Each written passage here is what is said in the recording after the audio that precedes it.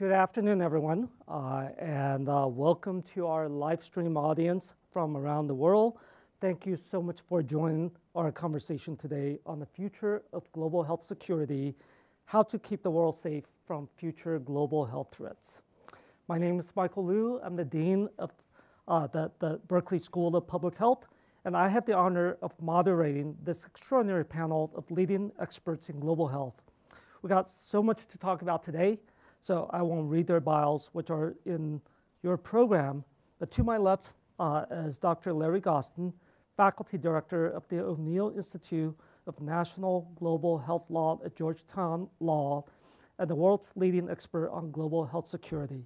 In fact, his recent book, Global Health Security, a blueprint for the future, is a must read for anyone interested in the topic.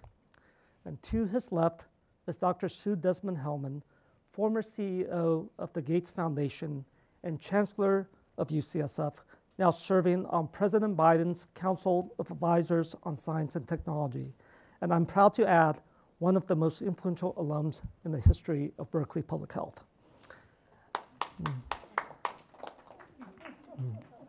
And to her left uh, is Dr. Art Reingold, Chair of Epidemiology at Berkeley Public Health, and one of the world's leading experts in infectious disease control and prevention, and one of our most beloved faculty and mentors to so many of us, me and Sue, and so many public health leaders uh, around the world.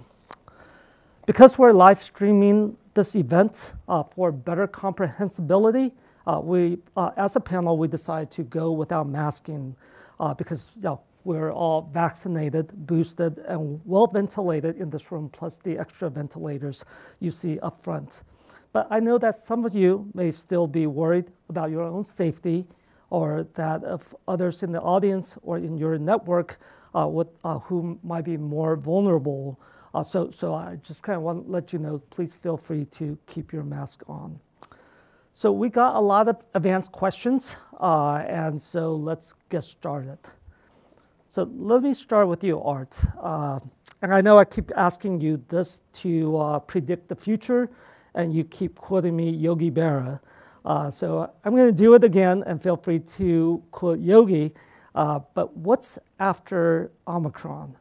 Do you foresee uh, that the next variants to become less and less severe, uh, even if they're more transmissible and eventually become endemic, just like the flu that, that, that we just have to learn to live with? Or how worried are you about the emergence of a variant in the coming year that can evade vaccine mediated immunity, including per perhaps T cell immunity. So, thank you, Michael. It's a pleasure to be here with my good friend Larry and my former student, uh, Sue, um, uh, to, to, try and answer some very difficult questions. Um, so, so uh, you're right. I always quote Yogi Berra saying it's hard to make predictions, especially about the future. Um, and um, of course, the only thing people care about are predictions about the future. So um, at, at, the risk of being wrong, I will make a few predictions. And then when we meet next year, uh, you can see if I was right or not. I, I, think everyone knows this virus is not going away. Um, we will have uh, the SARS-CoV-2 virus circulating in human populations for the foreseeable future. Uh, none of the vaccines we have uh, produce sterilizing immunity, and, and there's no reason the virus should be expected to disappear. Uh, we will have continued new variants. Uh, whether we will have a surprise new variant that's more severe uh, than the current variants, I don't know.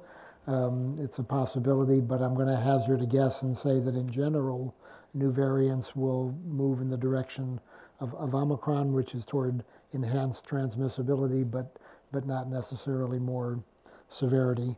And I'm cautiously optimistic uh, that our, our vaccine uh, researchers and, and, and manufacturers will be able to keep up uh, and make uh, better and better vaccines that keep us protected against hospitalization and death. Thanks, Art. Sue now, now it seems like now, now it's a race uh, between how fast the, the virus can mutate and how fast we can get the world vaccinated.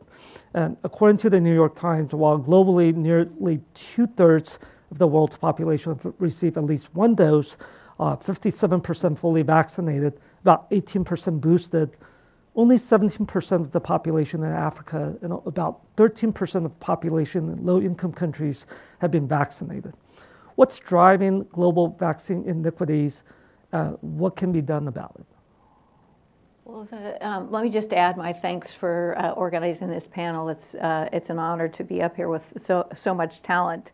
Um, like so many others, I'm really unhappy about the low rates of vaccination in Africa. And the, um, uh, uh there's a couple of uh, slogany things that I really like that I will say. Um, one is the, the slogan at the Gates Foundation um, is all lives have equal value. I really like that. It's very simple, and yet it says it's not okay for an entire continent to have such low access to vaccines. Um, the other uh, thing that uh, folks at CDC and other global health experts like to say is a virus anywhere is a virus everywhere, especially with a very mobile population. And uh, so those low rates are not just a, a humanitarian issue, they're an issue um, for the emergence of variants. And there's a lot of concern, especially in South Africa, where there's so many HIV positive um, undiagnosed people who are, are both immunosuppressed and not vaccinated. Um, it, here's the thing that I think is surprising.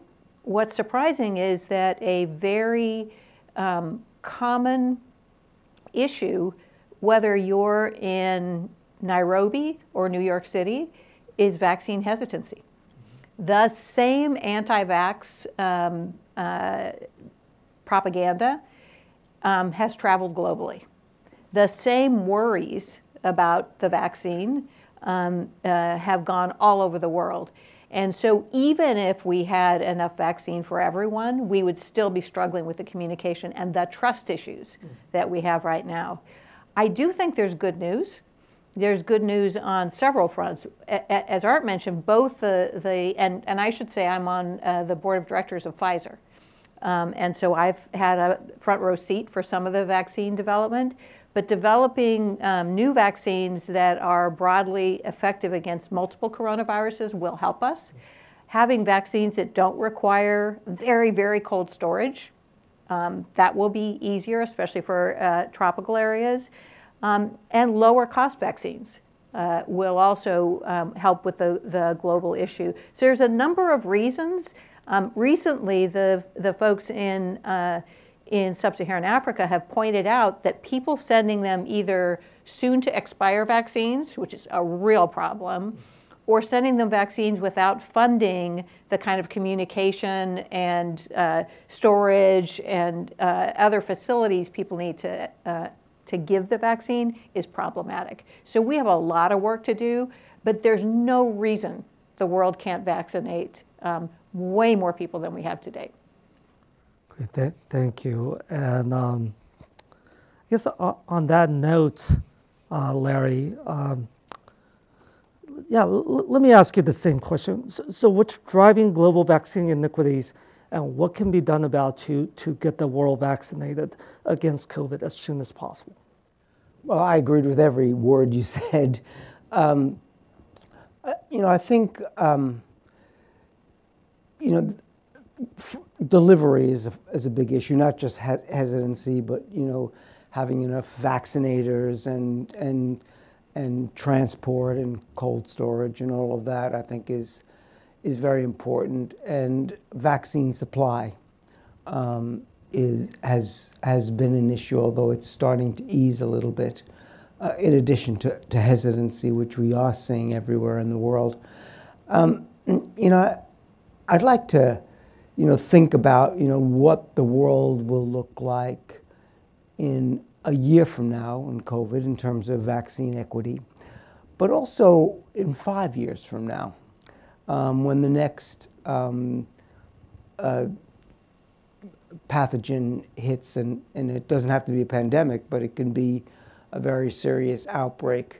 Um, to me, the most important thing is to um, enable countries to make uh, vaccines and treatments themselves. and not rely on donations. In my view, the, the idea of charitable donations from rich to less rich countries, which has been the pre, pre, prevailing um, and dominant way that we've done equity, is, is, is, is outdated and it's never been any good. We, we saw that with H1N1, even you know a, an internationalist like President Obama agreed to share some of the vaccine, but once there was a big problem in the U.S. and a lot of scare, he, he pulled back on that, and then it turned out to be not so bad, and then he gave. So uh, people in Africa and other parts of the world always know that vaccines come too little and too late. Same with drugs and personal protective equipment, a whole.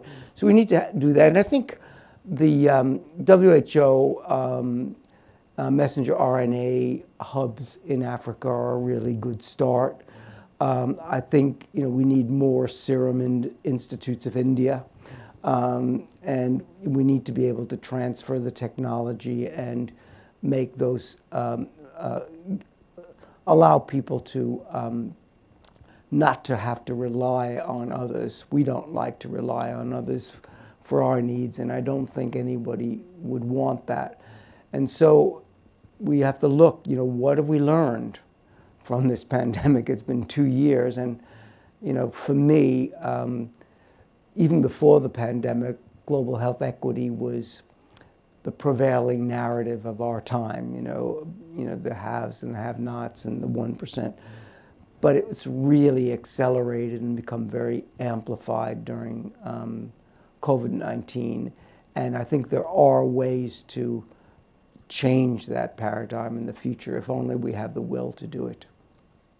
Thanks, Larry. And hold that thought. I, I want to come back and dive deeper into the idea of vaccine as charity. But, but let me kind of bring Art in. Anything else that you want to add, Art, in terms of the drivers of global vaccine inequities and what can be done about it? So, so I want to push back a little bit on a couple of things. One is that uh, people in my line of work say it's not vaccines that keep us safe, it's vaccinations. Um, so you can have all the vaccines produced anywhere you want in all the storage facilities you want, and if we can't get them into people's arms, they accomplish nothing. Um, so, so this issue of, of delivery is obviously critically important, but I'm a little uncomfortable. I've, I've been working on vaccines for 40 years and um, being confronted with people who are not happy about vaccination of their children for, for just that long. Um, I, am very concerned, however, that the it's not just hesitancy. I think hesitancy is really doesn't describe the scope of the problem that we now have, uh, particularly with regard to disinformation on the web and other places. The virulence of anti-vaccination sentiments, um, certainly in this country, and the and the, the extent to which they become political, uh, to, to, me is is a, serious problem that we somehow need to address. Uh, so making vaccines locally is great. Giving people the wherewithal to deliver vaccines within a country is critically important. We need to find a better way to convince people uh, that that uh, vaccines are a good thing. And and you know historically we did a pretty good job with measles vaccine and polio vaccine and other vaccines and and, and convincing people uh, to take them uh, uh, or to give them to their children. Uh, but I think that the landscape is different now, and I'm really puzzled about how to fix that. Thanks, Art. Uh, so I'm going to put you on the spot uh, here. There have been calls to President Biden and other world leaders to waive IP rights, intellectual property rights, and facilitate technology transfer in order to expand and diversify global vaccine uh, production and distribution. As a former CEO of Gates, and executive pharma, including board membership at Pfizer. What's your view on temporary IP waiver and technology transfer to accelerate achieving global vaccine equity? For me, I start with the philosophy. All lives have equal value. So that means if you're Pfizer, if you're Merck, if you're J&J, you want the products that you make to be available to everyone the, at Gates Foundation, we used to talk about having a toolkit of a number of different tools that we could use tiered pricing, occasional charitable donations, although philosophically I'm totally with you, Larry. Um, you know, you have a toolkit. There's a lot of different things. The um, one of the favorites in the toolkit would be to license uh, technology to Serum Institute, who commits to low cost. Serum Institute makes 80% of the vaccines for sub Saharan Africa out of India. They have a wonderful uh, um, track record of safe and effective vaccines. Um, it, among the things you could have in that toolkit is some way that you can treat intellectual property. Um, th- today there was an announcement about Pfizer um, uh, putting their small molecule pill for COVID into this patent pool. Yeah, they said that a while ago. Yeah, yeah, they had committed to it and they did it today. So there will be um, inexpensive uh, Paxlovid available for the world. W- What I get nervous about, and I'll just say, you know, these are, I'm torn about these things because of my fundamental beliefs. I get nervous about a company that puts a ton of money and investment and says, okay, we won't make a cancer drug, we'll make a COVID vaccine, and then the state comes in and takes your IP. I mean, that doesn't feel like a sustainable way to operate. You know, I'm a capitalist, but I think capitalism should work for people. Um, so I, th- I would want to look really closely at the at how you do that um, in a way that you still have healthy businesses that make us the next vaccine we need. Um, uh, but I think everything's got to be on the table, especially when you're in a global pandemic and people are going without. Thank you. So, um, yeah, Larry, that, let's come back to this idea that, that you mentioned uh, in terms of treating global vaccination as charity. Yeah, as of this month, donors have yeah, pledged $11 billion in financial assistance and 2.1 billion doses to COVAX.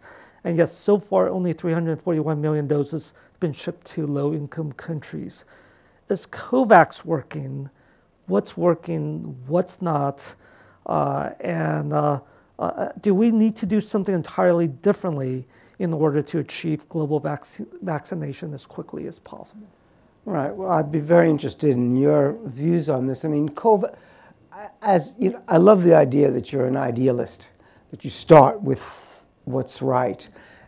So I would start there with COVAX. It, it, it was the you know the ACT accelerator, and COVAX is the uh, vaccine arm. Um, you know, had its heart in the right place. It's it's it was intended to be the world's equity driver. It, it, it failed, um, or it certainly did not fully succeed. Um, there are a lot of reasons for that. I mean, one of them is, is that countries got to have it both ways. They got to sign on to COVAX and have pre-purchase agreements. And right at the beginning, there, you know, high-income countries in Canada, U.S., Europe, um, UK, um, hoarded a lot of the early um, supply with these pre-existing uh, purchase agreements. That was one problem. Funding was another problem, um, and you know also their uh, COVAX's uh, vaccine allocation formulas come in for some um, criticism, um, and so you know right now. Uh, uh, WHO's got an, an INB, an intergovernmental negotiating body to um, uh, to negotiate a pandemic treaty. Um, um, uh, one of their co-chairs, Precious, is a very close friend. I'm sure you know her very well. She's really committed to equity, um, and so, you know, I'm I hope that um, out of the you know the crisis and the lack of solidarity and inequity that has come from this pandemic might be turned into an opportunity. I don't know that that will happen, but it would be very, it would be uh, inspiring if it did. And it depends upon what the treaty will say, what it will do. I think that equity um, and innovative ways to think about equity and, and a future ACT accelerator needs to be um, you know, thought out very carefully so that next time it succeeds. You know, it's Yeah, interesting to that, it- and- and Larry, it's, it- for me, I was surprised COVAX failed its, in its mission. I mean, it definitely did, Yeah. despite good intentions. Um, And it could have, even when the money came slow, you could sort of ramp it up. But not everything has to be fully funded day one. I was surprised specifically because I am so positive about Gavi. I was about to say so Gavi. The, the, yeah. the Global Vaccine Alliance mm. has, has helped millions It's of children around the world. success. It is a beautiful thing, with, mm. and it's an example of tiered pricing. There's there's tendered offers. There's you know this is a very business-like way to get countries what they need. Yeah. And Gavi does big fundraising, and people commit money to it. And and COVAX was a little bit of like a nephew or a niece of Gavi, I thought. And I thought they'd be able to use the the those same fundamental principles of equity and um, figuring out where the money needs to go because a lot of the Gavi money goes to delivery, goes to getting things uh, um, to to the children who need these vaccines. But I think in and you mentioned this, Larry, that, that kind of scram- in the scramble to say my citizen, you know, if you're the premier of a country or the president of a country, everybody got nationalistic all of a sudden. And so they were signing things and they were they were giving speeches telling their citizens they would get their vaccines. And so it wasn't um, the atmosphere did not enable COVID uh, COVAX's success, and it wasn't really set up for success. Just for our audience out there who may not be tracking Gavi and COVAX, Yeah. can, can you explain the difference in terms of how those two work? So Gavi is the Global Vaccine Alliance. It's a, um, uh, an organization that does fundraising and then uses those funds to work with UNICEF and others to have low-cost vaccines get to children in poor countries. And the concept of Gavi that's interesting is you graduate. As your country's income goes up, you, you'll graduate from needing subsidized vaccines. So it's actually a pretty cool idea, and it, it is based on the notion th- that it is literally pennies to save a ch- child's life from, from measles or not have a kid paralyzed because of polio. I mean, these are fundamentally the most cost effective, beautiful things, vaccines. And Gavi's been around for a while and is very successful. You, yeah, it's it's it's a it's a great point because Gavi should have been the model, and I don't know what what it was um, uh, that that made it not succeed. You know, part of it I think was just things don't seem to go well. We don't plan for crises. And you know, childhood vaccinations have been you know ongoing. Everybody agrees with them, and and they had a better flow to them. Um, and and so we have to we have to do a lot better um, pandemic preparedness um, and anticipate these problems in the future because we know that they're going to happen. It's so true. I mean, the best public health is um, very um, predictable and similar. You get in the car, you put your seatbelt on, right? Your child is is four weeks old. You, they get this vaccine. Like the, the vaccines and other public health measures work when they're predictable, reliable, and citizens are like, oh yeah, well, that's what we do. You know, we put our our seatbelt on, we get in the car, and I think COVID 19 in general and COVAX specifically was sort of like all this, you know, it was the opposite of those kinds of familiar, this is, it- that's why people do tabletop exercises and treat these. I mean, that's why the word security is in your book. They treat it almost like a military thing because you have to use different principles than routine childhood immunization or seatbelt use or other public health things that, that uh, I just like the reliability of day-to-day public health things. And the question is how to bring that same reliability into crises. Yeah, I And love and I think what, what, what the two of you are, are talking about could really raise a, a much larger question about our approach to global health. And, and so let me kind of bring, bring Art uh, into this. Art, Art, uh, I know you've been pretty uh, critical about the, the kind of parachute uh, epidemiology that's been going on in global health for, for decades. Explain what you mean by parachute epidemiology and what must we do differently in order to improve global health equity? So um, I started my career in global health working for the CDC, uh, studying meningitis in West Africa and the effectiveness of meningitis vaccines. And the model was really simple. I got on a plane, I, I landed in the country, I collected my data and my specimens, and I brought them back to Atlanta, uh, where we analyzed them and published our papers and made recommendations. There was absolutely no, uh, at that point, interest in building capacity locally to do any of that work. So that's what I call parachute science or parachute epidemiology. There's no attention paid to building local capacity. So for the past 40 years, I've been trying to make up for that uh, with, with funding from the NIH, Fogarty International Center. Uh, here we now at the school have money from Gilead, for example, to a very generous donation to help us with that. But uh, you know, it's it's easy to talk about building local capacity. It's it's not a short-term uh, endeavor, right? And and so just to think about you know all the wonderful people I've worked with from many countries, uh, we bring them to Berkeley, we bring them to whatever U.S. or European institution or Australian institution you want, and you give them great training. Um, you, you, and of course, you want them to quote go home uh, and to contribute and, and, build capacity there and supervise and train people there. And it's easy for me to say, sitting from my privileged position in Berkeley, that you should go home, uh, uh, even though you have a family and children and uh, who you need to educate. And so there's the whole question of is there infrastructure? Can they will they get a salary that's high enough to educate and feed their children? Um, can they really use the skills we've given them? And that's not a that's not something you can fix in a few years uh, just with a grant from NIH. Um, it, it's really a much longer term and much more expensive endeavor if you really want to build capacity. Uh, CDC has done some of this with its network of sites in different countries, but it, it, uh, to me, it's, it's something that takes decades.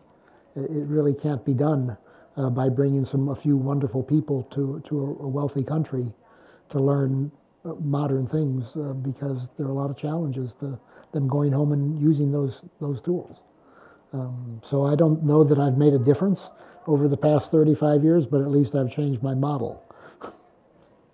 And I do have a bunch of questions later on, you know, these advanced questions about building local health systems uh, capacity and public health capacity. Can but, I just say one other yeah, quick thing? Because it relates to the capacity issue and what, what, what, what Larry and Sue were talking about before. I, I think it is the case, uh, demonstrably the case, uh, that we're used to the idea of Gavi and others vaccinating little children or paying for vaccines for, for infants. There's not a country I know of that does a comparably good job vaccinating adults. Um, and we in the United States do a pretty terrible job of vaccinating adults for the most part. So it's, it's, it's really a different paradigm uh, that a lot of people just aren't used to thinking about. I, do want to okay, turn our attention to the home front, uh, which uh, COVID 19 certainly has, a, has been an epic failure for public health here in the United States. Right? And this doesn't take away all the great heroism of the, the, the you know, many of our public health colleagues, uh, without whom I think the toll of COVID 19 would have been you know, worse by, by orders of magnitude. Uh, but but the, the numbers don't lie, right? With nearly a million deaths uh, in the US uh, at a moment when the American public really needed public health, uh, that, that our public health system really failed to protect the health and safety of the American people. So, this is a question for, for all of you. Uh, what went wrong? What are some of the most important lessons that the US should learn from COVID 19? And I'll start with you, Larry. Well, you know, I think you you have to start with public trust.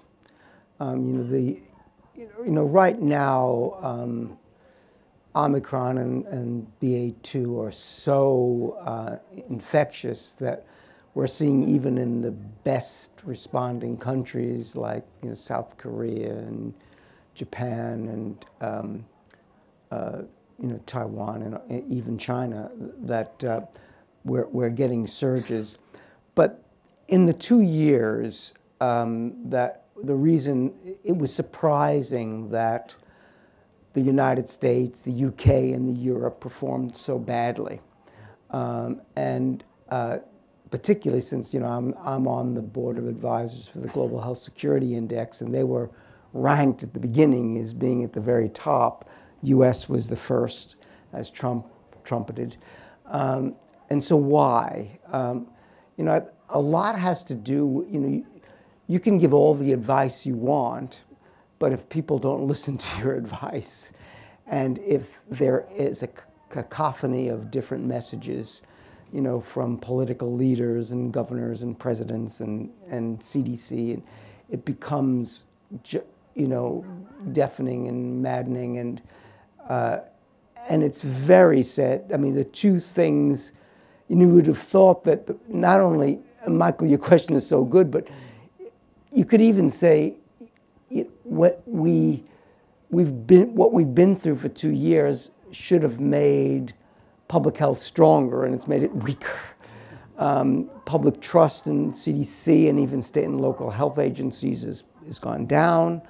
Um, the public health workforce has been um, dispirited. S- some have fired, some have left. Um, when they should have been heroes, they've been castigated, they've been threatened. Um, just, I mean, even the federal level, look at what's happened to Tony Fauci, what's happened to all of us. I get, you know, um, these threatening uh, messages. So it's, it's um, I think if I were to put my finger on just one thing, and there are many things, um, it would be it would be the you know the, the, lack of public trust because at the beginning, before we had the vaccines, um, we we we really were limited to non-therapeutic interventions, and if you need the population to to comply with that, and they didn't, whereas they did in you know in in you know particularly in Asia, you know parts of Asia and and and. Uh, and I think that's, you know, I would point to that as the major reason, but not the, not the exclusive reason. Let, let, me push you a little harder on the, the issue of public trust. Certainly, public health depends on, uh, on public uh, trust. If you were to kind of look back at the last two years, uh, what were some of the major mistakes or missteps that really eroded uh, public trust in public health? And what, what can we do now to restore that public trust in public health? Well, I don't think anybody knows the answer to your last question. I mean, it, we, we just literally don't know, although I, I can hazard some guesses. So um, let me start. You know, I can give you a catalog of problems with uh, the previous occupant of the White House and all the problems that happened at CDC and even FDA. I can catalog them all. But before I do, we have a, we have a, um, a, a problem. We don't trust government in the United States, you know, and it's we, you can see it from from uh, uh, polling and data from around the world. We're about the bottom, and you know, Europe and the UK are you know close. To, we have become, I like to say, um, uh, you know, it's all about you know, what are my rights? What's my autonomy? What's you know my liberty? Um, and we've stopped saying, what do I owe my family, my neighbors, my community, my country, my world, um, and the common good? We've lost that tradition. It, and it, you know, you can go back in the United States. It wasn't always that way. We, you know, people talk about the Wild West, but it was a very well-regulated society, including firearms and a whole range of things. Um, and even, you know, uh, John F. Kennedy and you know, ask not what you know, your country can do for you, what you can do for your country. LBJ's uh, Great Society, War on Poverty. What's happened in America? I, I've lost a lot of confidence in, you know, just our ability to be kind and to care for one another. And that's what, you know, at the bottom of it all is really just a respect for the other, a decency for the other. And we seem to have lost that because it seems to be so much about me. And I think that's, you know, so it started with that. And then, you know, the, the miscommunications and bad messaging and all that from uh, the White House and various public health agencies throughout. I mean, I can go through examples of, I mean, at one point I wrote an op-ed which said, you know, what could CDC be thinking? you know, what, what, what, what? You know, and so, um, but I would start with the, just the kind of fundamental distrust in government and uh, and the and the kind of me society. Sue, for you, the, the biggest lesson learned uh, from COVID 19, and then kind of thinking back to the last two years, what were some of the biggest missteps or mis- uh, uh, uh, and, uh, and mistakes? Uh, and now that you're advising the Biden administration through PCAST, what, can, what should the administration and Congress be doing to make sure that we're better prepared for the next pandemic? So, so this neighborliness, I'll, I'll, use the word neighborliness because I like that word. Um, boy, do I want to endorse that. But um, a, a, couple things that, that really strike me. First of all, one of the things we shouldn't forget is uh, COVID 19 is actually really hard. SARS CoV 2 right. is point. hard. It is a virus that's respiratory borne, and you can transmit it when you have no symptoms. Like that, that's hard. Being able to be, be uh, um, somebody who passes along a virus when you're not sick. I mean, think about that. That's a really powerful, important thing. I, I uh, um, had just gotten to Gates Foundation when Ebola struck in West Africa. And we were, remember how terrified we all were? We were like watching the nightly news and seeing the plane with the guy. it was just, it was kind of nuts.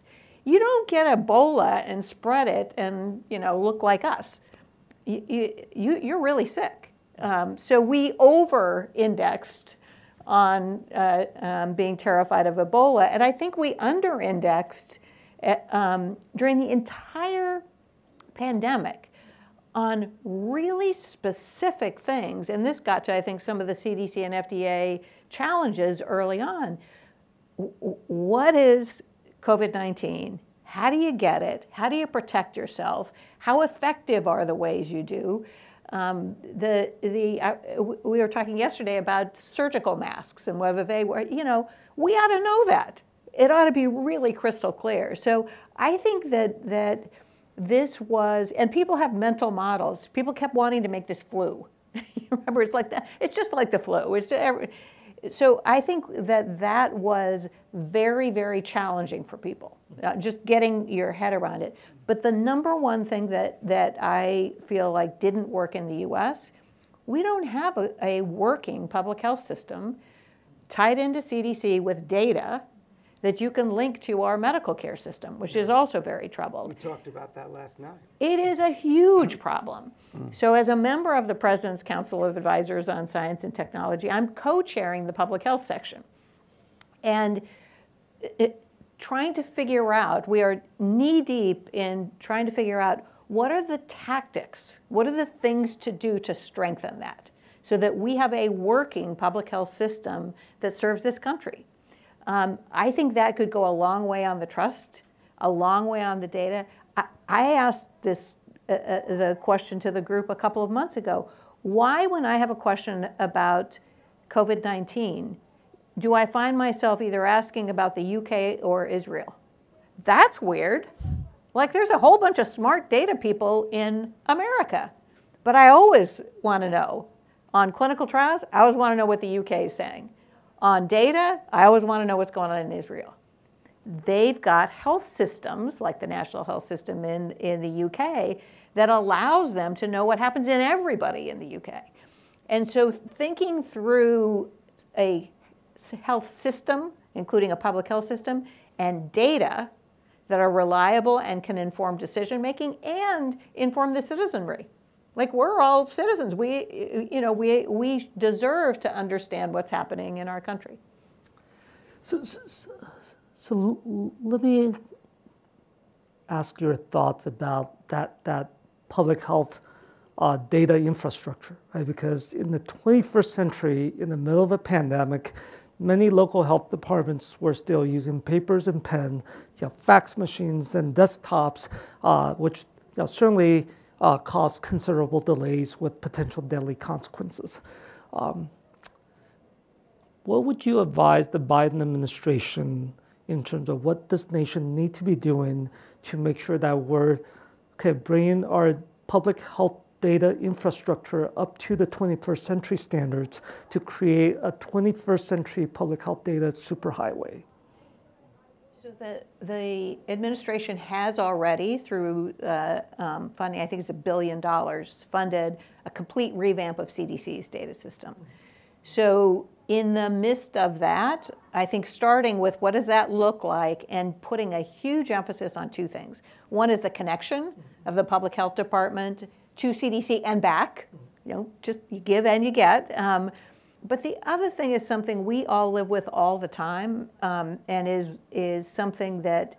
Um, so if you do a home COVID test, if you go down to CVS and get a COVID test, or or the government mails you one in the mail, now we're all worried about our tracking because you do it at home.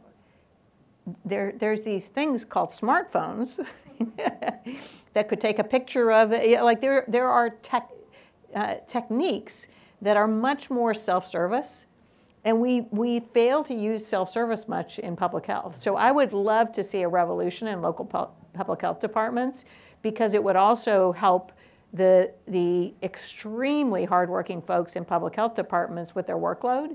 Um, and people like to get involved with things, you know. So I think we need two things: CDC connected and back, back and forth, and much more self-service. Well, I'd love to also get, get, your thought about how do we improve, innovate, and transform uh, the, the public health uh, data infrastructure, but also kind of your thought in terms of uh, you've been advising Governor Newsom and with all this federal and state money coming in, what can we do to revitalize California's public health system? So, on my desk, I have a 19 page document of a group that's advising the legislature about how to do this in California with their recommendations and asking for my thoughts about their recommendations. Um, but, but before I get to that, I think I need to, you know, just follow up on a couple of things that uh, Larry and, and Sue said. I think, you know, some people don't seem to quite understand our Constitution, and I'm getting into Larry's territory here. Um, but, but we are not Sweden. We are not Israel. We are not the UK. We are 50 states and half a dozen territories and a, and a few Native American tribes who are each sovereign when it comes to public health. So we are not one system. And the only way that the federal government can make sure that Wyoming does it as well as California, as well as North Carolina, is to either bribe them or, or, or, or coerce them. Okay? Favor so, one over the other. So, so uh, people may know that when, when I, I, think this is correct, when the federal government decided we should all have right turn on red, some states said we're not interested in right turn on red. And the federal government said, fine, then you don't get any federal highway transportation funds. And guess what? All 50 states changed their laws to have right turn on red uh, because they were forced to do so under threat of losing their federal highway transportation funds. So PulseNet is a good example of a system that the federal government has paid for and put into basically every state to monitor foodborne illnesses using modern technology that's the same in every state. But if you're relying on each state to pay for it and to do it a particular way that is common and sensible and modern, that's not going to work. So maybe we need a constitutional amendment uh, that, that says health is no longer a state matter but a federal matter. Uh, Larry will tell me why that's not very practical. But, uh, no. Or how do you think about something like um, uh, neonatal blood sampling, where there's like all 50 states do it and they have their own committee and everything, but they do that as a, a kind of critical public health thing, all 50 of them with CDC. So it can be done. I, I, think it can be done, but how you get it done, if you're not either paying for it uh, or, or, coercing all states to do the same thing and use the same technology, modern technology, I'm not smart enough to know. I'm not a political scientist, right. but Larry will. So you can't coerce states to do it. The courts have been, the Supreme Court's been very clear about that. You can coerce individuals, um, you can coerce companies maybe, but you can't coerce states. Um, you can incentivize states, um, and you know the, the highway uh, funds I think was was actually raising the um, uh, the minimum drinking age, um, okay. that um, and that the Supreme Court upheld that. But since then, it's become much more difficult. I mean, remember, um, for the first time, maybe certainly since FDR, the Supreme Court um, struck down uh, federal incentives to states to expand Medicaid. Um, and even when the federal government paid for virtually all of it, a lot of um, states um, said no. Um, so, yeah, there are, federalism is often thought to be our strength, you know, the laboratory of the states and all that, but it's also clearly a weakness too. There are other, I mean, uh, Germany is a federalist society, um, it, and, but it's got much more coordination. Um, but it's, you know, I, I don't, I'm not optimistic that we're going to be able to get that kind of harmonization among states. It is a, it is a significant problem, particularly on data and, and other areas. I mean, uh, the one other thing I'll say, so, so you know, this for California, this list of things, uh, I, I, have a couple of perceptions. One is that they're very happy to spend federal money, um, but it's not clear to me they're willing to raise taxes and spend California money on a regular basis. I have to ask the governor and the legislature that. Mm-hmm. Um, so I think as long as they're spending federal money, they're happy to buy more stuff. Um, uh, but but but um, so whether things are sustainable or not, we need things sustained. Public health is not a one-time research grant. It's an ongoing endeavor, and it needs to be sustained.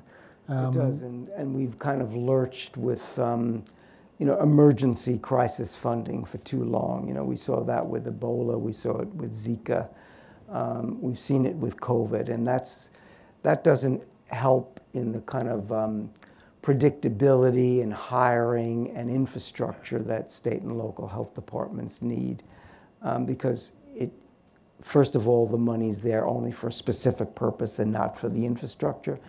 Um, secondly, it can go away and does go away. Um, and so uh, we need to have sustainable state and local public health funding that, that's, that uh, you know, is predictable, that people can hire the best people, you know, retain them. Um, we do have a, you know, quite a broken state and federal public health system, I think, um, that, you know, we, you know, Congress could do a lot more with that um, than, it, than it is doing. Larry, I, I, think you're raising a really important point about our federalist uh, system of public health, because uh, you know, most okay, nations have one public health system.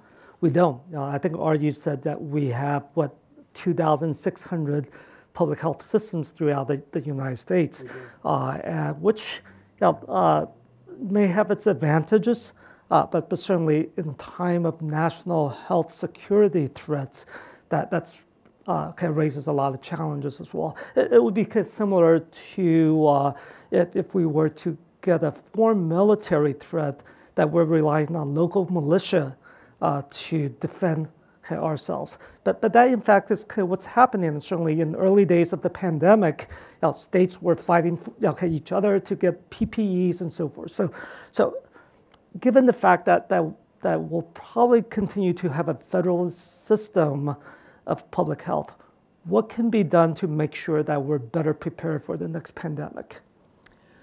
Well, I think that Art is right, actually, that it requires um, federal funding of state and local um, responses and readiness, um, and not just the odd surge funding when a crisis hits, but sustainable. You know, I'm on um, uh, uh, a National Academy of Sciences committee that's currently reviewing our COVID response, particularly CDC, and you know, among the things we're going to be calling for is, is that sustained funding.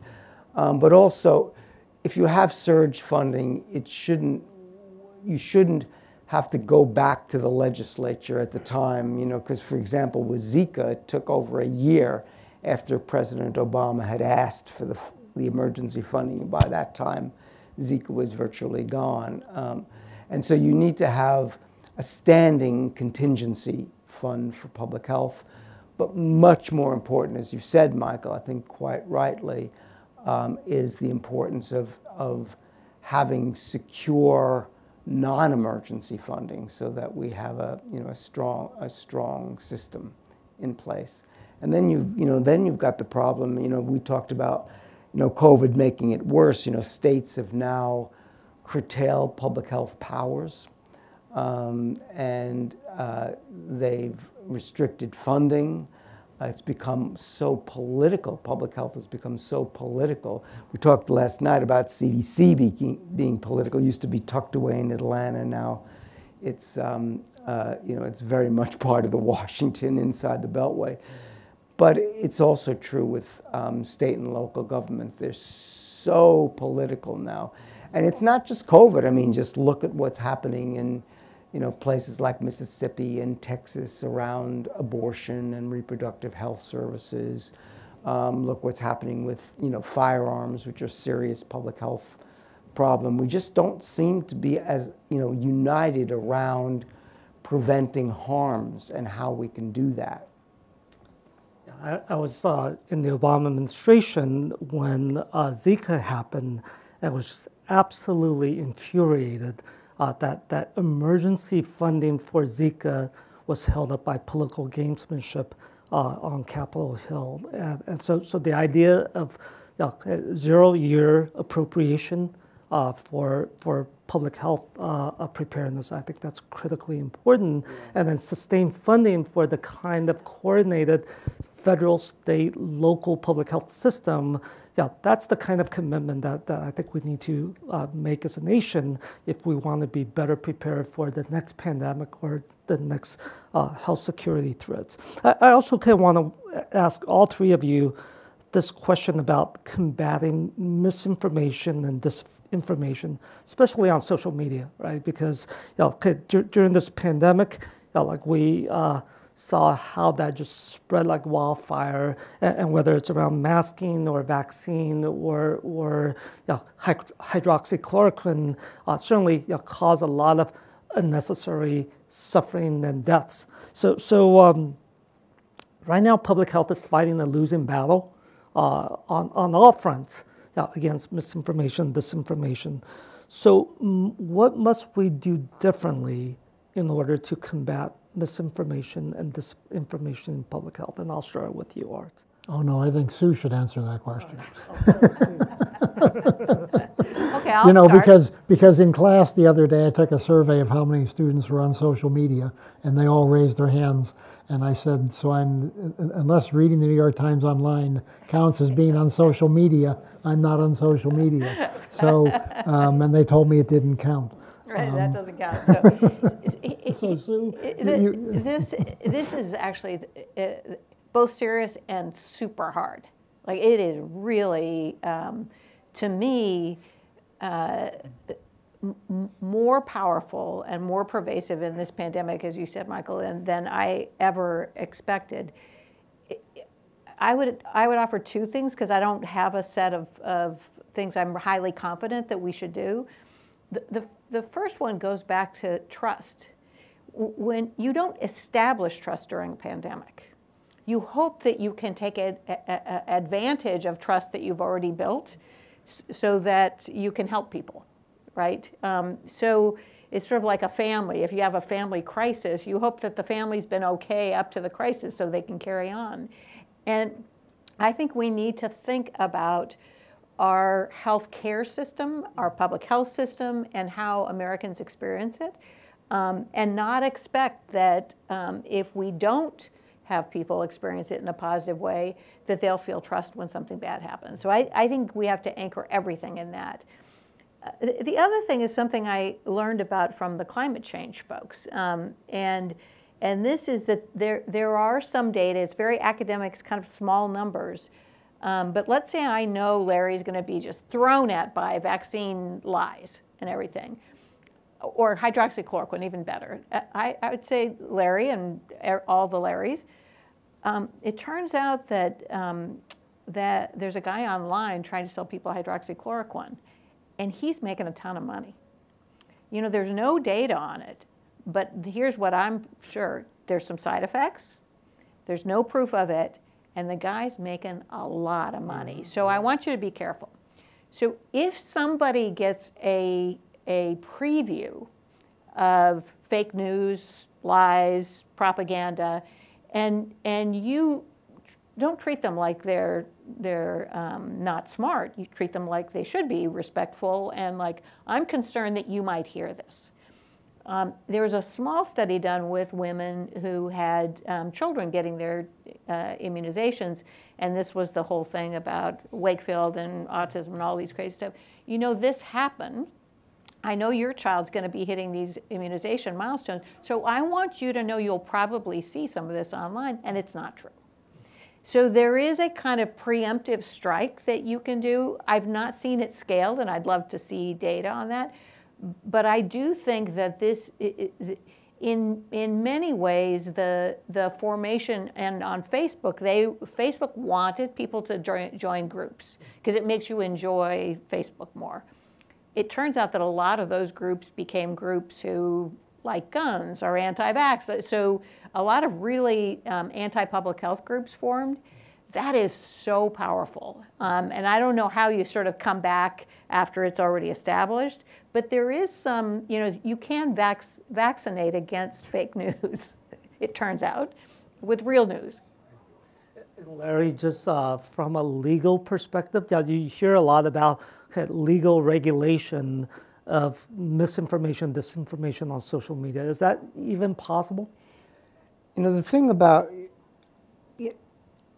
I'm, I'm not sure you can scale that, you know, because yeah. there's so, oh, there's just massive. such a cacophony yeah. of different um, voices that people are hearing. You're also not going to stop people from using social media. We can't rely on social media to police itself. One, because it, does, it doesn't have an incentive to do it, but secondly, it's a really hard thing to do. It, even when, when companies want to do it, you know, finding it or even labeling it. They, the labeling of, of these things uh, are um, only a tiny fraction of the false information, and it leads people to believe that if it's not labeled, that it's accurate, and it's not. Um, so it's a very, very hard problem, I agree. If, if, if there were one thing I would do, and I think this is a longer term solution, but I think it's the only thing we can do, and we've seen this done in smaller countries you know, very effectively, like Finland and others, is, uh, is um, uh, information literacy. Um, that is, teaching young kids, and you can teach them, to separate what's uh, reliable and what's not reliable.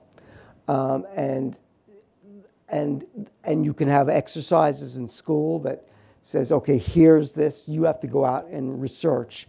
Is this reliable? Is it not? And why? Um, and I think that we are very illiterate, um, particularly in the United States. Not necessarily illiterate in that sense, but in terms of health literacy and knowing what to trust and what not. I know that even in the Georgetown community or Hopkins or wherever I work, you know, there's a lot of people that really don't know how to separate um, you know, good information from bad information.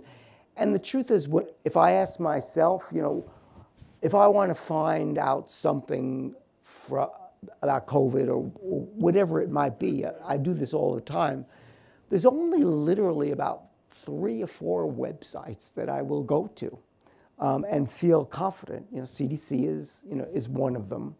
Um, and you know, I'll, you know, sometimes WHO, I take that with a grain of salt, but yes, I would do that.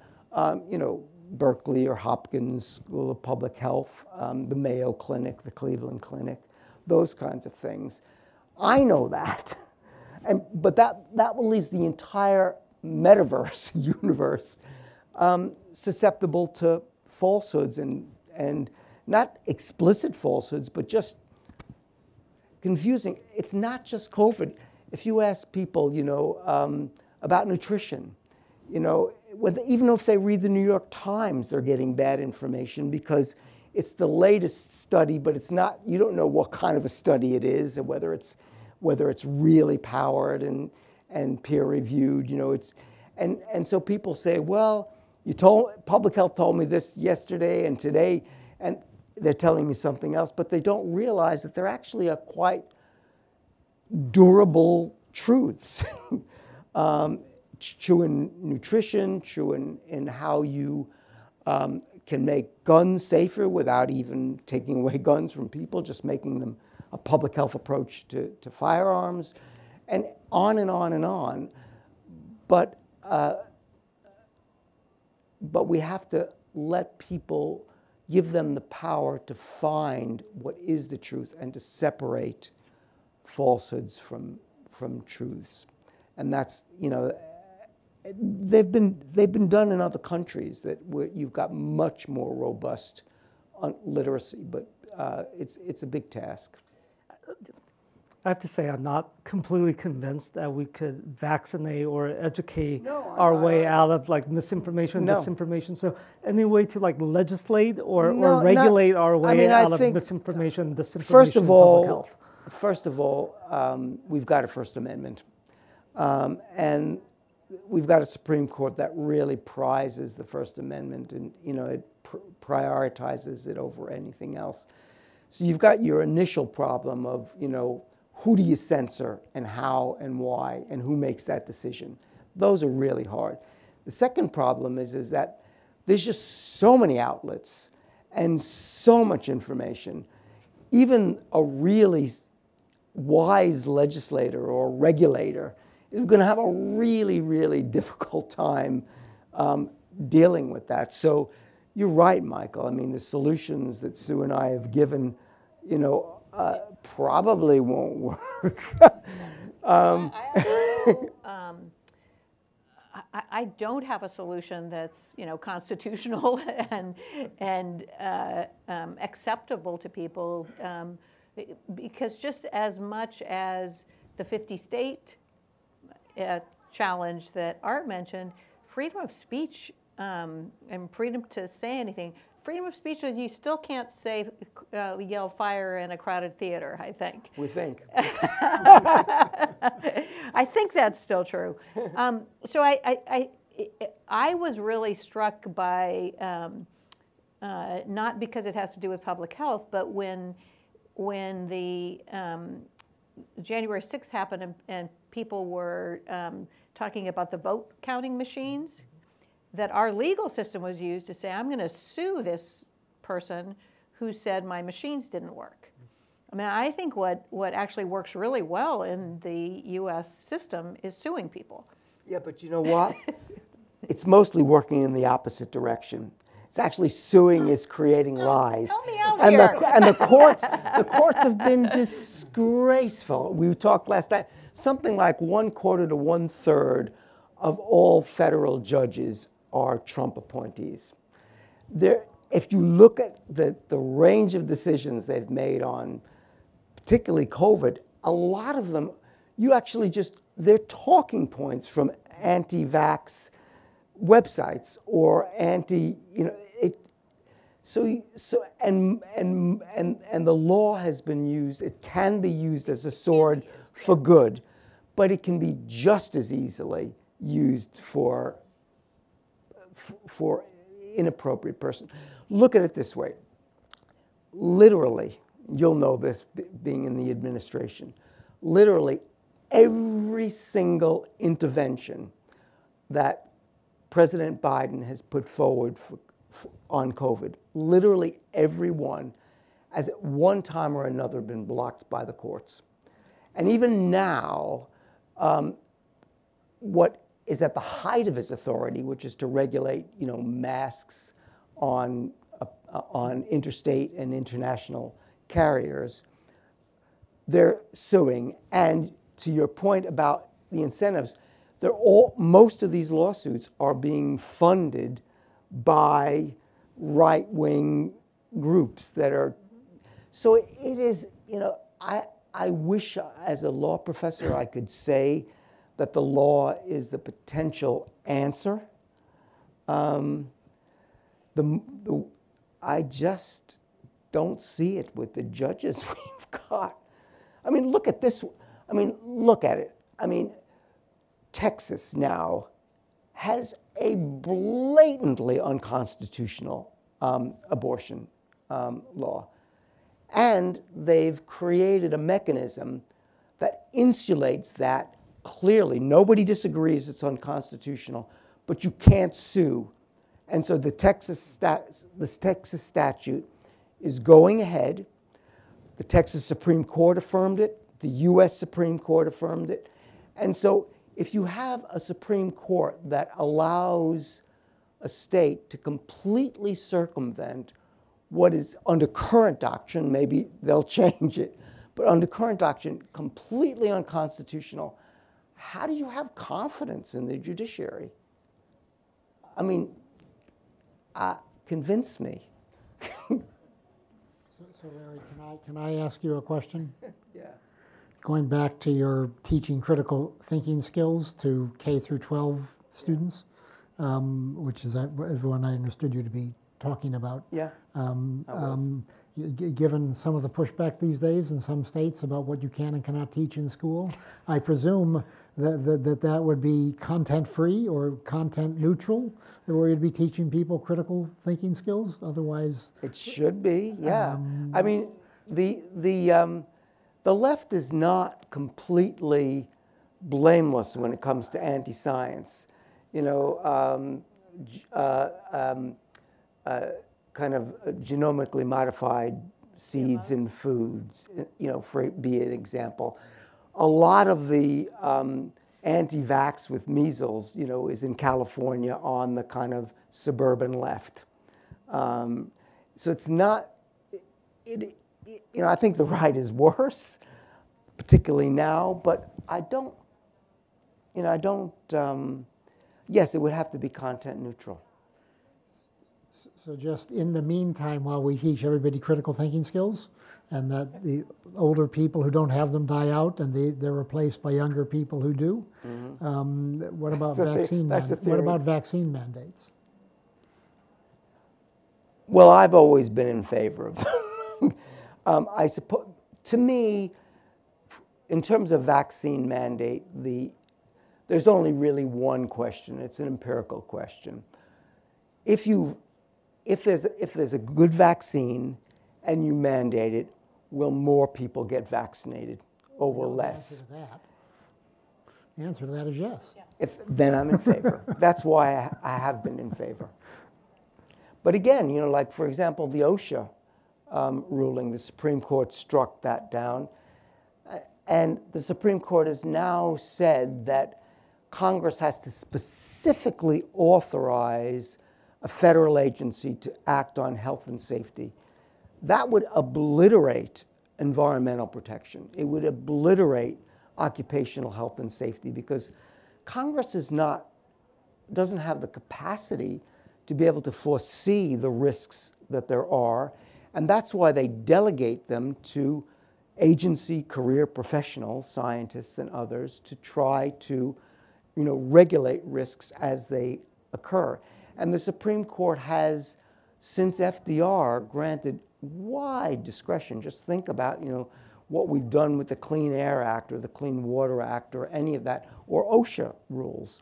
Um, that's all changing. Um, and I think in a, in, a, in, a, in a worrying way, the capacity for, for state, for federal health and safety regulations. So far, the courts have kind of upheld state and local regulation, getting back public health regulation, getting back to the federalism point you were making, Michael. Um, but even there, I'm a little bit worried, particularly on religious exemptions um, for vaccinations. I think the court is poised to do something differently. It hasn't thus far, but I think it's poised to do that.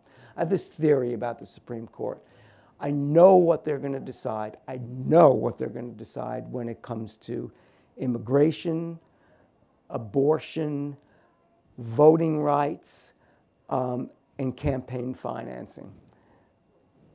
Doesn't matter what the issue is. I know what they're going to decide, and I'm always right. They do decide that way. They just do.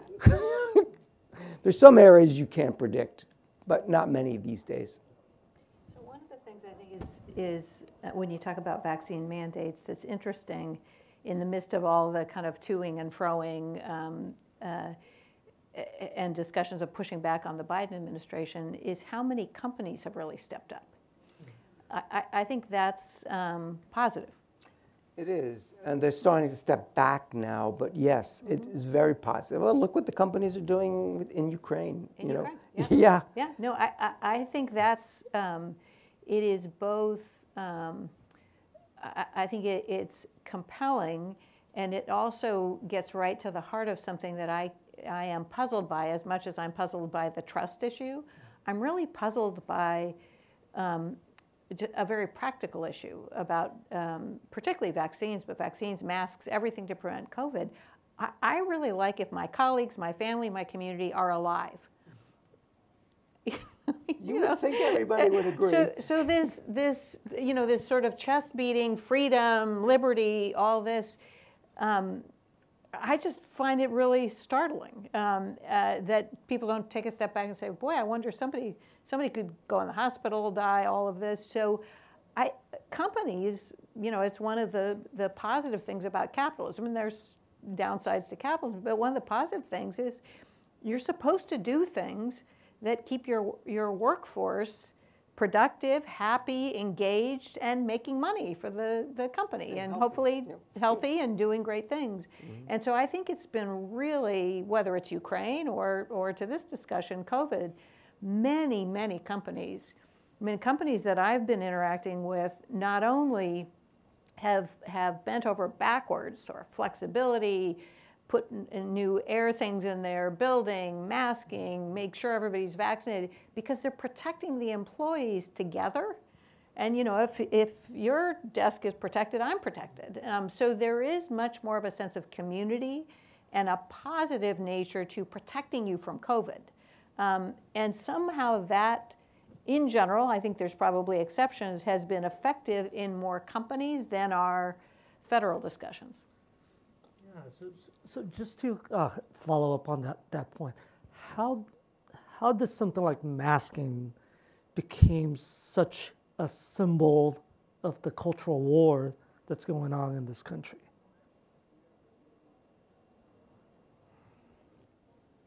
I think it travels together. You know, it's, it's a COVID thing. Um, and, and I think particularly uh, um, as people have become tired, you know, two, two years is a long time, um, that it's, it's more symbolic of frustration and not, not enjoying being told what to do. I don't know that it's any more, more special than that. Yeah, it's been it's been dizzying to see how just kind of neutral things, you know, uh, you know, a, a biological vaccine, or a mask, um, or distancing, or whatever it might be, uh, that they've become so political. It's tempting to always blame the last guy in office, um, but I think that would probably be an oversimplification. But it has been in, you know, and you know, you look at um, political leaders, even at the state and local of many, many state and local levels, and they're they're saying, you know, at the at, at uh, CPAC, I tweeted about this because it just um, Ted Cruz began his talk by saying, by uh, to large cheers, I don't see a mask or a vaccine in this audience. Now, what? He's a Harvard educated. I mean, That's what worries me about saying critical te- the uh, skill, the thinking skills are all we need to teach people. I mean, you just have to say, you know, have we lost our our compass, our moral compass?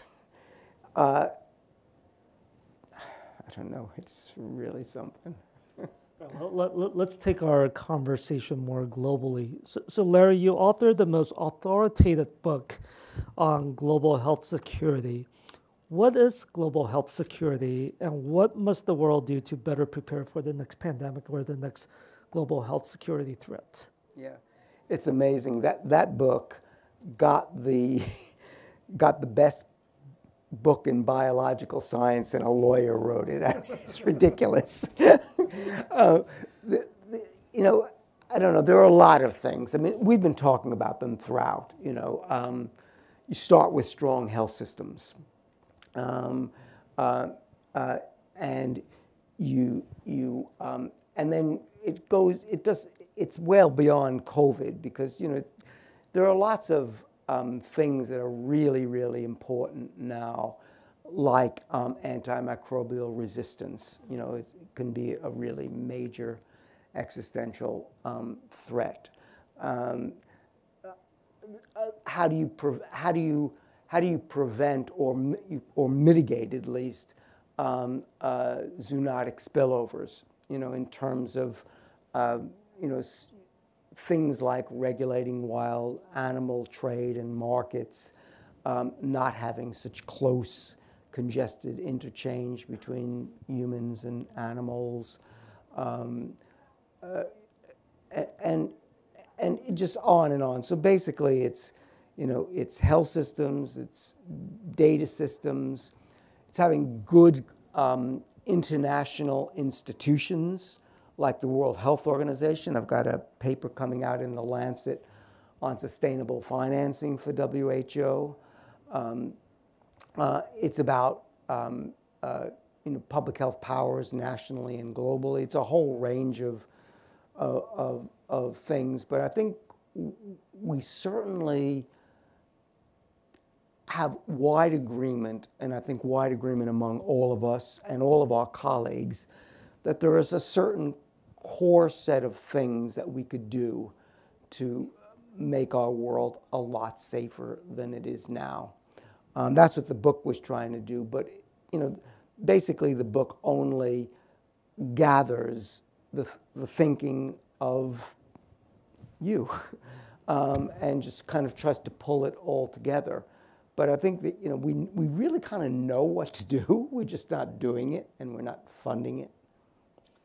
And, and I do want to dive deeper into some of the things that you just talked about. But but let me kind of bring Sue and Art into this.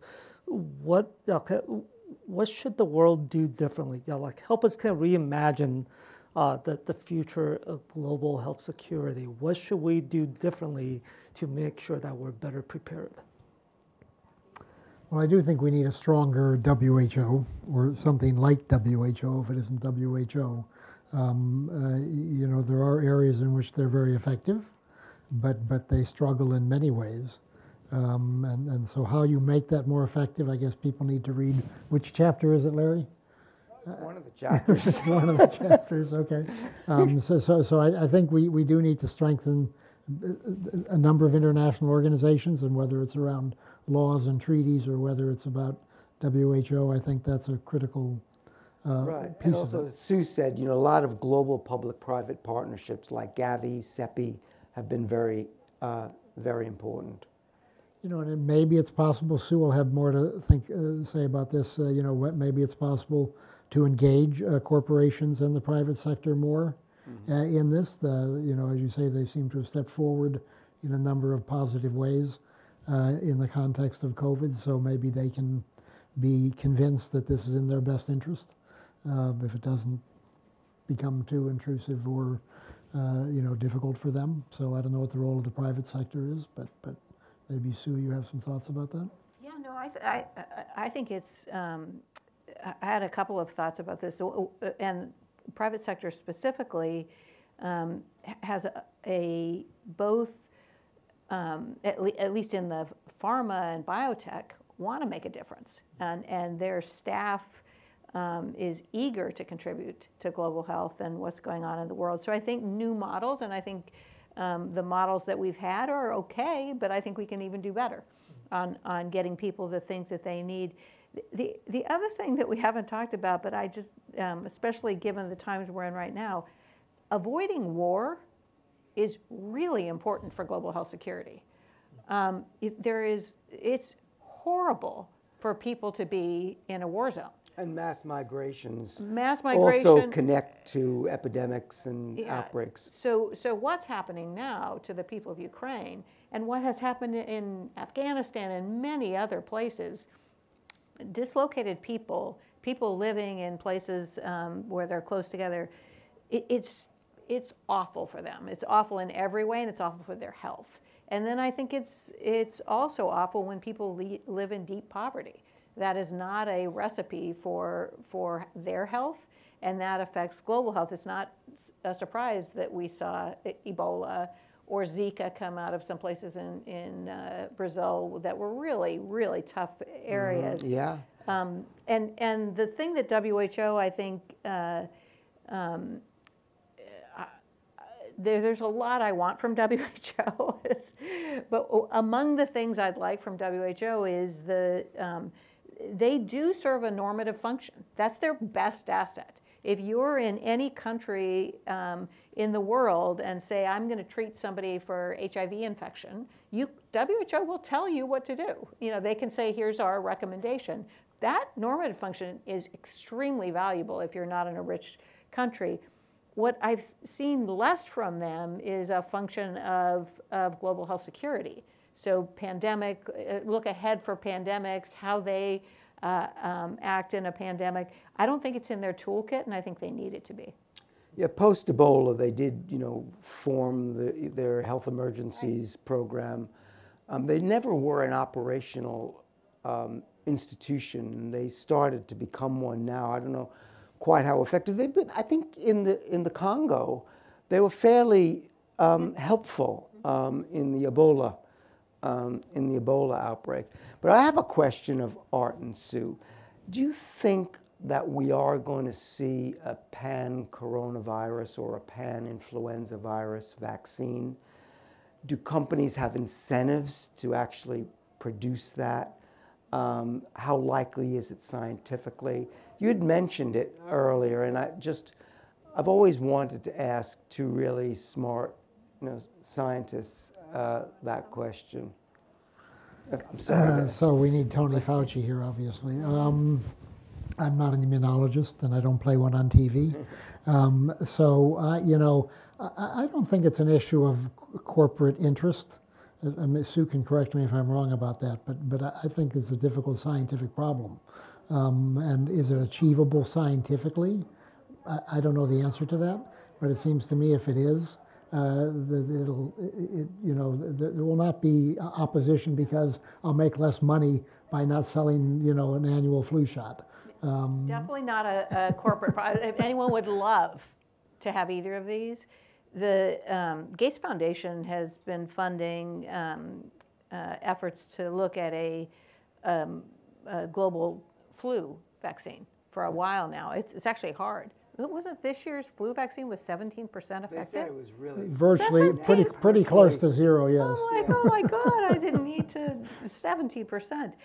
So so that's we need uh, better better uh, flu vaccines. The thing that's hard about um, so I'm not an immunologist either. Um, but among the things that are challenging with the coronavirus vaccine is we're seeing in real time its capabilities. you know that, that, that we have Delta and then we've got Omicron and uh, um, the and the latest. we really need a pan coronavirus vaccine, really and companies would love to have it. And the other question is is why does this vaccine seem to lack durability compared to other vaccines? You know, just a couple of days ago, Pfizer uh, put in an emergency application for a fourth dose for plus 65. I mean, what, what's going on? And is it, does, and is, are mRNA vaccines not as good as we thought, that we hoped and thought? Um, is it something about this virus? But I think there's a certain bewilderment and fatigue among the population. I need to get, you know, how many times are you going to ask me to put a dose in, you know, yeah. and so what, how do you, how do you explain that to the public? Yeah, I don't have an explanation. We need to have really good data to explain that. The, um, I have been surprised at the lack of durable effect, um, as you are, and um, and I don't know we'll be able to compare AstraZeneca's, J&J's, uh, Moderna, and Pfizer's to look at duration. Novavax. Um, and Novavax coming coming around the bend. Um, so so it's not yet clear. It, the other thing I worry about, I will tell you, is these the duration. We often will measure either cellular or Right. humoral immunity. And what I care about is, eh, are you, are you going to? Mm-hmm. get sick? Are you going to go to the hospital or die? And so we need better data. We don't know. But by the way, I will say, um, I have this great photo. I, I, I, I bet I'm not the only one in this room. Um, the day I got my first um, uh, vaccine, and I was just like, I, I, was so grateful. We all were. I was so grateful.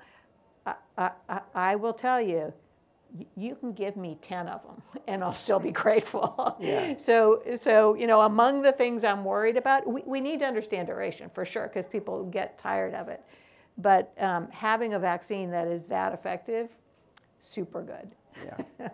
I think we all agree with that. It's just, you know, I think there's, in addition to kind of COVID risk mitigation measure that fatigue, I think that's part of the, you know, concern of the, Oh, yeah. of the public. Oh, we should understand. And myself as well, I don't quite understand it.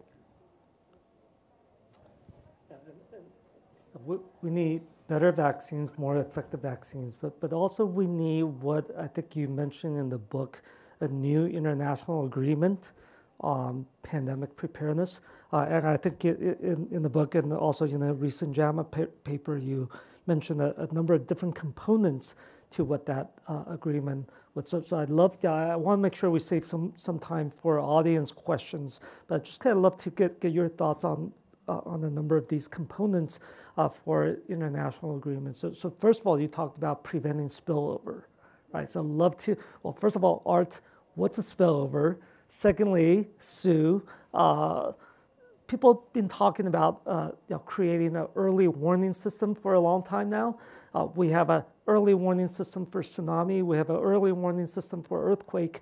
Why can't we build an early warning system for uh, to monitor spillovers uh, or to uh, to to detect uh, early outbreaks? And then Larry, so some of kind of what's driving spillovers, of course, you know, okay, the deforestation and the urbanization, mm-hmm. and then just the, the, the harvesting, the, the relentless harvesting of wildlife and, and wildlife traits and, and so forth. And, and the U, United States and, the, and China are responsible, I think, for about 60% of all wildlife trade, illegal wildlife trade going on. What are some legal options to make sure that, that in addition to like shutting down wet markets and things like that, what can we do to, to, to reduce uh, wildlife trades uh, in order to prevent spillover? So, so start with Art, what's, what's a So, spillover? so first of all, um, you know, um, wet markets, uh, so so spillover is when a, a, a pathogen, primarily a virus, uh, moves from uh, an animal population into a human population. Um, and, uh, you know, whether it's Ebola, whether it's HIV, whether it's uh, COVID, uh, uh, SARS-CoV-2 or SARS-CoV-1, that's fundamentally the arrival of a new pathogen into a human population, uh, which more often than not has no immunity to it. Um, so you have pretty much everybody being susceptible. Um, you know, people have obviously talked about closing wet markets. Uh, so you may or not remember, but a number of years ago, we used to have wet markets here in San Francisco uh, because people of certain uh, groups preferred to buy their chicken alive uh, or their turtle or whatever they're going to take home and cook as part of their culture for millennia, probably. Um, and the, the closing them was a non-trivial cultural, uh, drew a fairly vigorous response from the affected community. Um, and that's true in a number of other countries. Uh, so it tends to drive underground uh, some of these behaviors rather than eliminate them. It makes them. So I don't know whether the right thing is to ban uh, everything. Larry will tell us about that, uh, or, or, or whether to regulate it in Let's some ban way. everything. That's Ban everything. Um, but it's not, you know, th- some of these are very deeply ingrained behaviors. And we had a student a few years ago whose research was on the fact that in some countries, if, if you ban the, the uh, hunting, killing, and eating of wild animals, uh, you better find some way to replace the protein because these are marginally people with marginal nutrition. They rely on the animals they're killing for, for their protein, and you better have a way to replace it um, or otherwise it's going to be a problem, right? So, so it's a complicated issue. you know, just very briefly, the question of how do we monitor spillovers and how do we set up a global surveillance system for this? Well, A, you need a blank load of money. um, and you need a lot of epidemiologists and you need a lot of laboratories um, because it's a big world, right? And you don't know whether it's going to be in Thailand or Congo or Brazil uh, or, or Kansas, frankly. Um, so, so you, you, it, it's a non-trivial problem. And, you know, One Health is meant to solve all this. Um, and my friends at Davis would be happy to explain how. But I think it's a really tough problem. Agree. The only thing I would add to, to what Art's already said, I, I think WHO and CDC are the heart and soul of the early alert uh, warning and should be the heart and soul of that. Um, one thing that I've been happy about during this pandemic is the resurgence of uh, the popularity of uh, sewage sampling, wastewater sampling. Mm-hmm. It is an incredibly powerful tool for looking ahead at things. Um, and whether, how much it will scale for pandemic look ahead, um, I don't know, but I think it could be. And it's being used. In fact, it's one of the things I'm kind of nervous about right now is, is we've seen a little bit of an uptick uh, in some states in the U.S. in the wastewater sampling as Europe uh, and Asia have been more affected with COVID again. And I think that that is, you know, if you if you think about a very um, non-invasive um, privacy enhancing way to monitor its wastewater uh, um, uh, sampling. Just to say that that would work better in a place with sewer systems? yes and no, I have to say. See, I, I saw this up close and personal. So in Nigeria, um, the, the, uh, for our uh, polio sewage sampling, there was a, um, uh, sorry, it's almost dinner time. There was a, a, river where people's waste was carried, like a creek um, and we did the sewage sampling there. Sure. So you don't have to have you know bells and whistles, and uh, um, uh, it, it, can be done in surprisingly difficult areas. Fair point. Larry, legal options for preventing spillover and addressing wildlife trade? Um, well, for a start, um, it's going to be hard because you have to have um, international agreement and people have to abide by it. So again, using the Ukraine example, you know, every country in the world, I think, just about has signed on to international humanitarian law and the Geneva Convention, including Russia. But if they don't actually comply with it, and we saw a lot of that with the international health regulations, it's a problem. So you need an international uh, agreement. You need to be able to, to, to, to gain some compliance. You know, maybe part of the answer is just more transparency and to try to hold um, countries to account better um, through that kind of transparency. Um, but also normatively, I mean, I think we, you know, we have to find agreement on you know, the kinds of things that are really harming us as, as humankind. You mentioned a, few of the really critical ones, Michael. Um, you know, deforestation, um, overuse of, uh, of antimicrobials in, in animal and even human populations, you know, prescribe, you know, indiscriminate prescribing, um, uh, wet markets, uh, wildlife trade, um, you know, uh, you know, even in areas that, that are not public health, like you know, the trade in ivory um, and and exotic animals, um, you see, uh, it's very very hard to stop. But that doesn't mean we can't try. We should we should have. I think we should have international agreements on all of those things.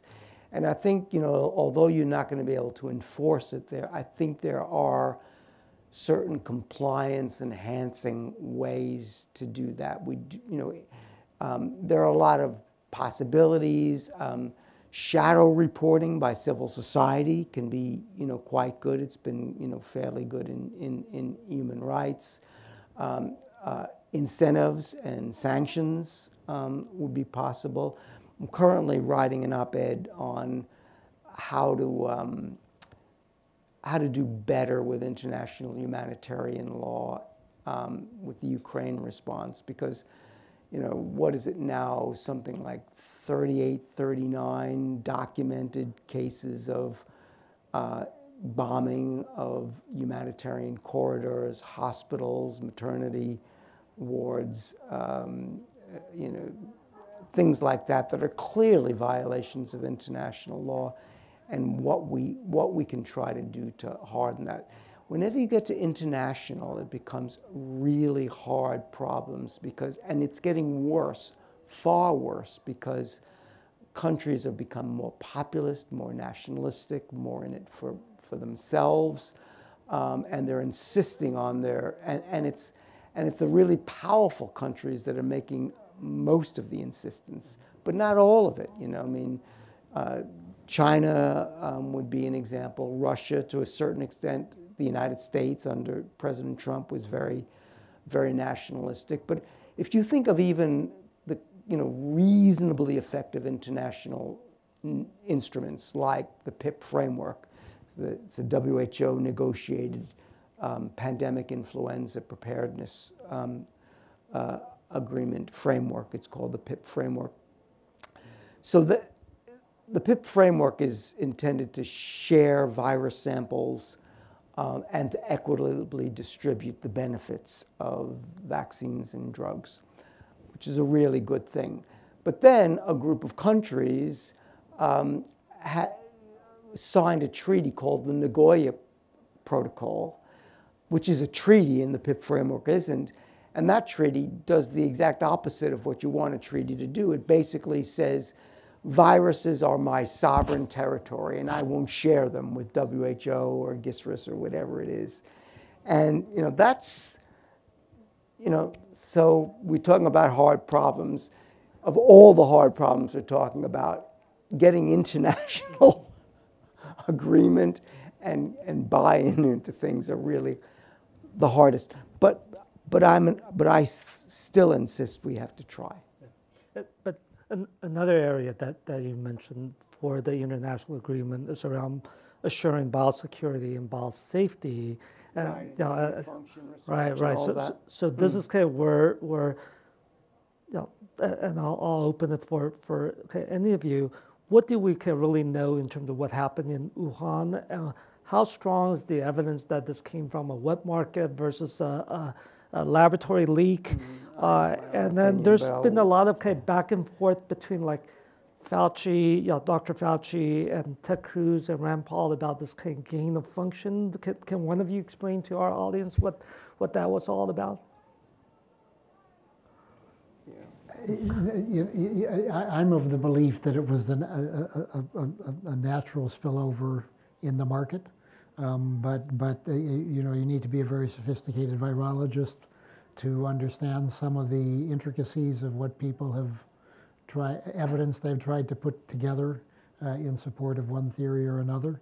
Um, and the notion that perhaps the laboratory there had isolated it from some person or animal and then it escaped from the lab. Uh, that's different than saying it was engineered in the lab. Right? Yeah, I mean, I, I agree with Art. I mean, I think you know, there's a saying in medicine that, that, that what, you know, what's most probable is probably right. And when you hear hoofbeats, think horses, yeah, not right. zebras. Exactly. And so what's something like 70% of all the, you know, spillovers of emerging infections, you know, so, so you begin with the idea that that's probably what happened. But there are also some really, you know, the, not, not complete evidence, but good evidence. The most recent one is they did, um, uh, where the outbreak occurred in Wuhan by the wet market, they did um, uh, some sampling near animals that are most likely to have um, had the spillover effect. And they, found SARS-CoV-2, you know, on the, on the equipment, on the cages and things like that. And that was, it was reported as the closest thing to a smoking gun. Now, can you rule out um, the, uh, the, the, the Wuhan Institute of Virology? No, you can't. And absolutely, China should be a more, a better global citizen and allow the kind of um, investi- independent investigation of the origins. Uh, and so, so, so the China Morning Post asked me the question. That's when they were free in Hong Kong. I don't know if they are anymore. Um, they said, uh, would the, would, let's suppose it, it happened in CDC high security lab or in Fort Detrick or something. Would we allow an independent scientific investigation international? I said, no, no, we wouldn't. But I'd have a lot more confidence that whistleblowers and civil society and transparency in the United States would come to a, a, a more truthful conclusion than I am confident of that in China. So I really agree with what both Art and Larry said. The, the, the, a gain of function experiment is, is a thing that you, you're doing some kind of genetic manipulation on a virus. So, for example, it could become more infectious. That's yeah. a gain of function.